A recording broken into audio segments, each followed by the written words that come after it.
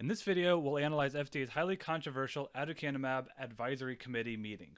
Uh, as you can see here, the stock did a pretty strange thing. It jumped up in one day and it dropped the very next day, a very large amount, all because of this advisory committee meeting.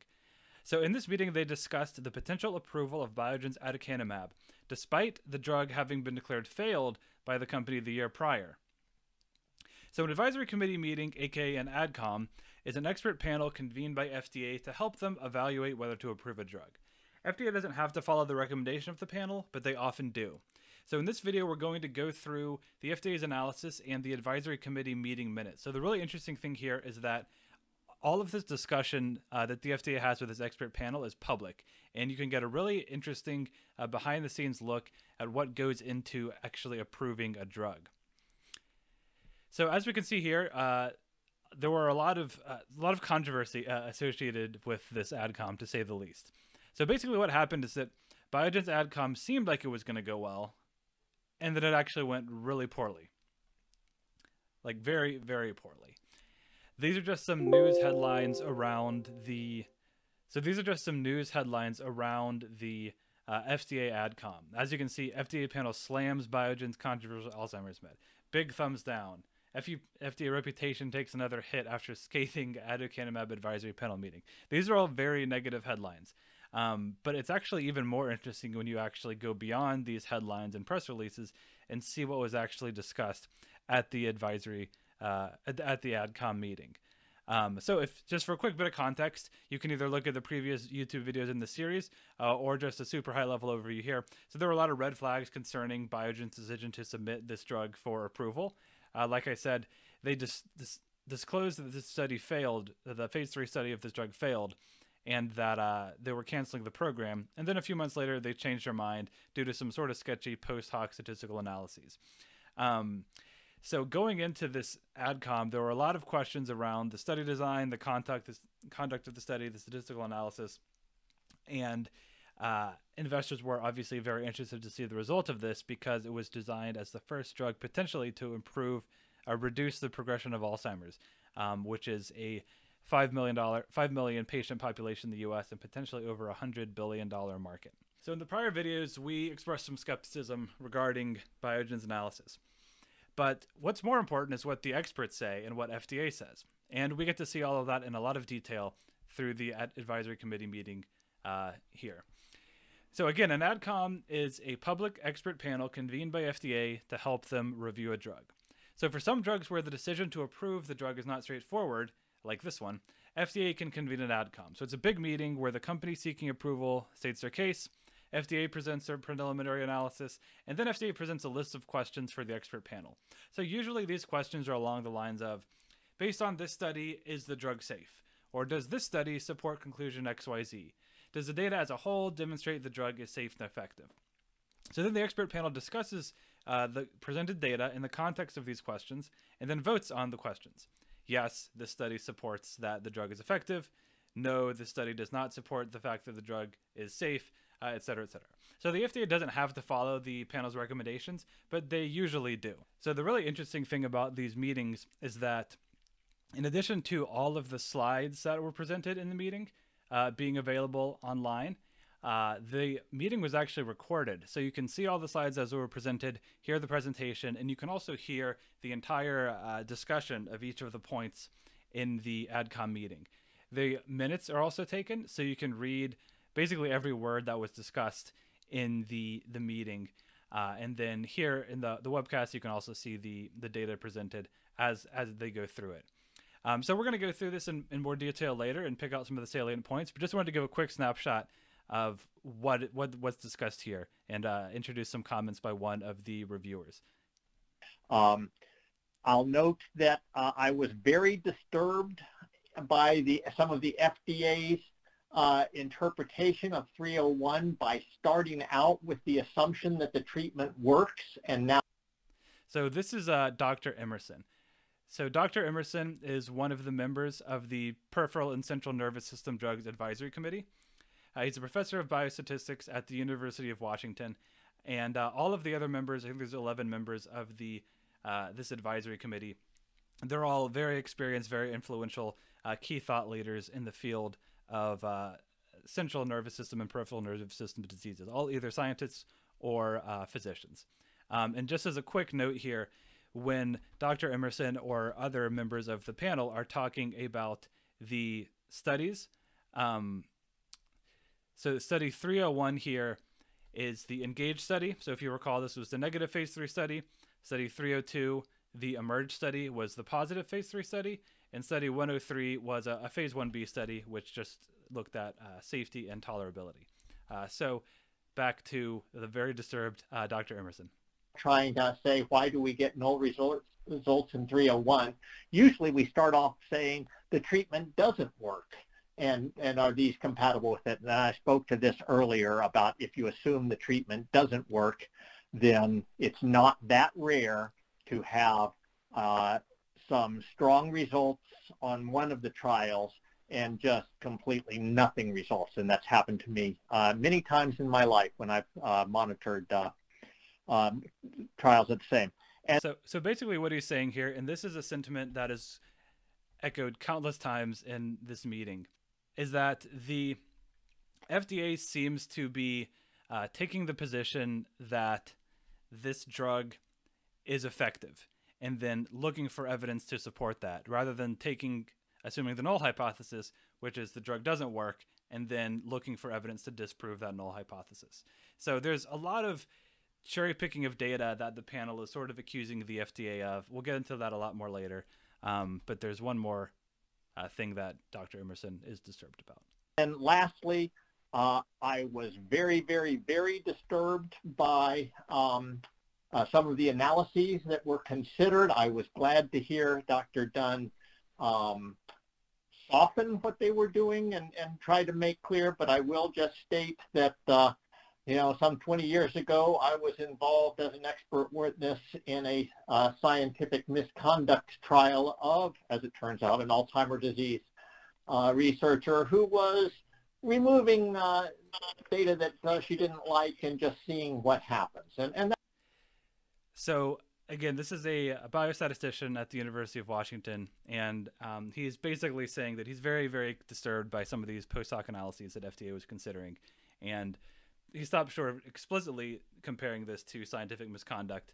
But you know, I think that he, he brought that he brought that up for a reason. So that was uh, just a, a little bit of a teaser and a sign of what's to come.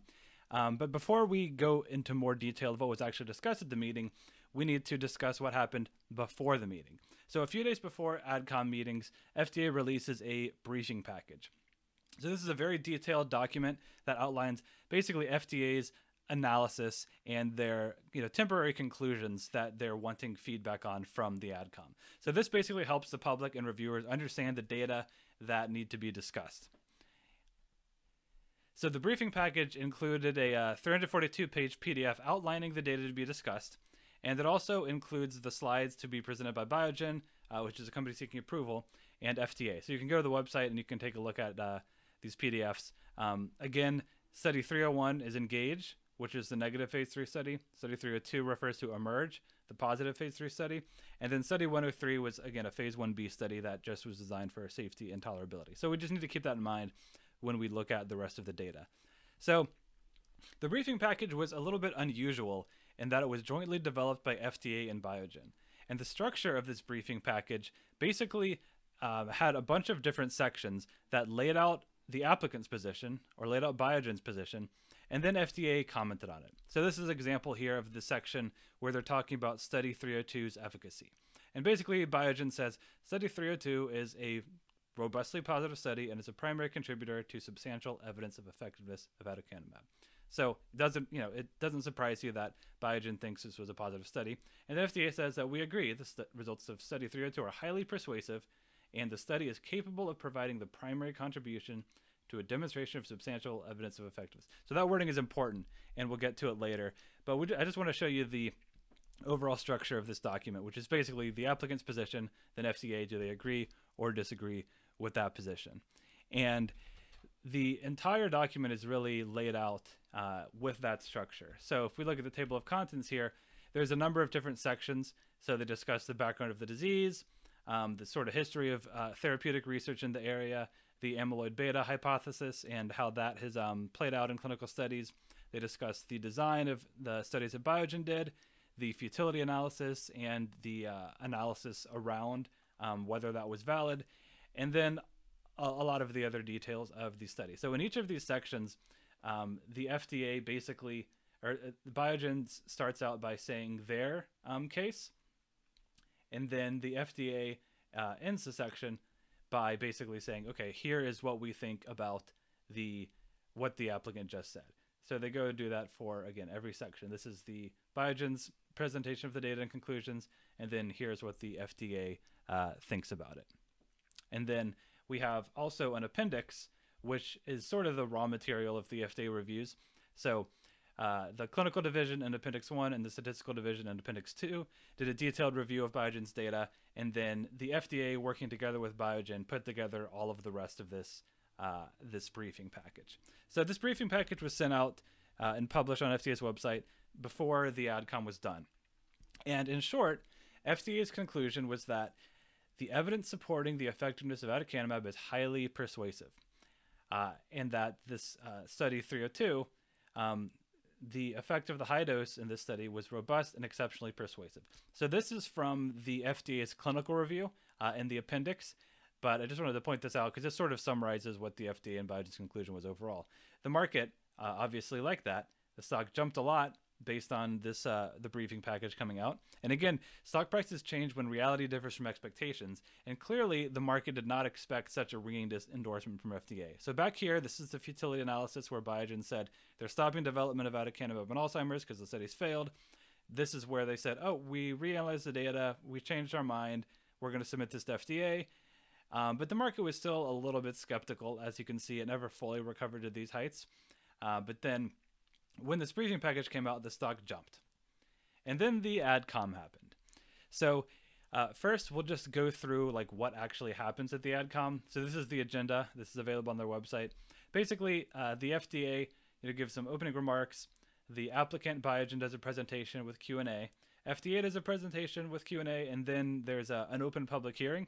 So this is basically where uh, patients and caregivers, uh, family members, patient advocates are given a chance to to give their voice, um, especially for a tr- disease like Alzheimer's, where it's a devastating disease and there's no good treatments. It is really important for the panel to consider um, the level of unmet need and the the patient experience here because that's why FDA has these uh, expedited approval pathways in the first place. If there's a drug that has a chance of working and it seems safe enough and there's patients who are really sick, then it, it makes sense to consider just getting these patients access earlier before you know the science is 100% there as long as there's some reasonable promise that it will work.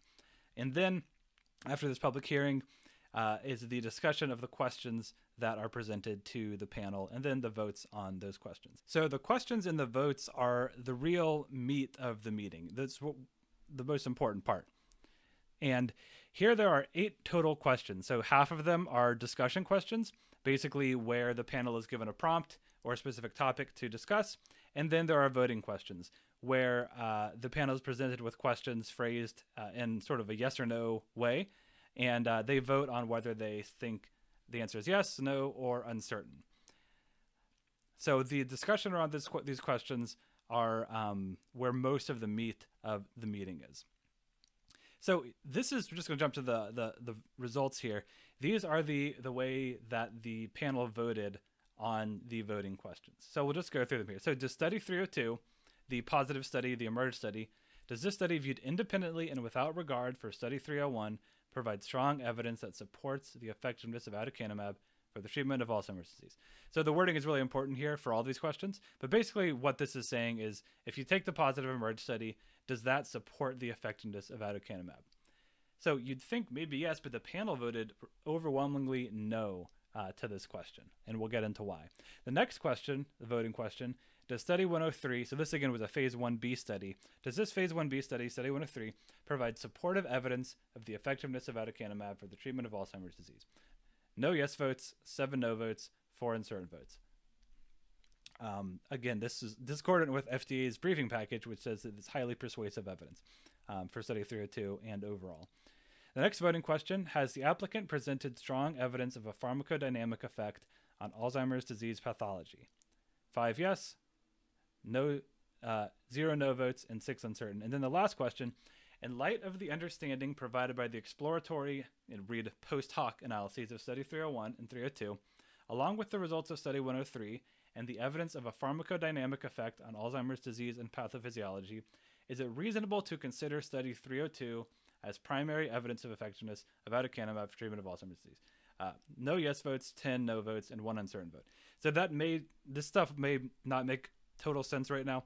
Um, we'll go through it in detail. The wording is super important, and if the wording is confusing, there may be an intention for that, which we'll get into. But basically, the takeaway here is that the panel was overwhelmingly against this drug for Alzheimer's, which is completely um, in opposition to FDA's stance and obviously to Biogen's stance. And the questions that were asked, right, the specific four voting questions that were chosen were also very concerning to the panel. So we'll get into why these questions were controversial in the next video, where we'll just discuss the overall process of the AdCom and how FDA can use that to kind of drive the panel towards a certain conclusion. And then we'll probably do another video after that that actually gets into breaking down the uh, discussion of the AdCom in detail. Uh, it's, a, it's a lot of material, but it's all really interesting and I think important to understand um, if you're interested in learning how drugs get approved. Uh, so hope you liked the video. If you have any questions, let me know in the comments, and uh, we'll see you in the next one.